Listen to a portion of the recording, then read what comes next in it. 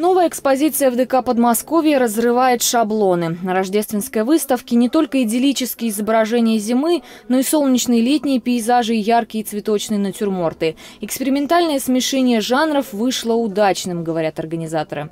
В целом выставка очень позитивная, добрая, светлая.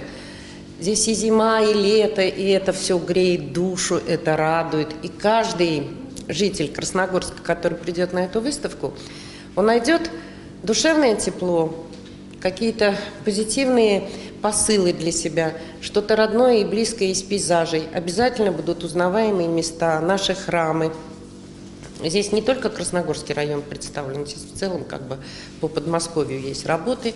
Елена Горелова свое представление о Новом Годе и Рождестве выразила в серии картин с балеринами. Эти торжества ассоциируются у художницы с балетом «Щелкунчик». Работы передают не только легкое праздничное настроение, но и глубокий посыл. Для меня э, живопись вообще это любовь. А, не любовь краскам, к холсту, а любовь к людям, любовь к энергии, любовь к искусству, а, любовь э, в общем и в частном понимании этого слова. А вот Евгений Глыс отразил в работах размышления, свойственные каждому. На его картинах и житейские перипетии, и глубокомысленные рассуждения о смысле жизни.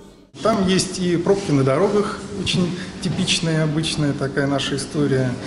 Там есть и ключ к механизму. А, ключ к механизму – это некое такое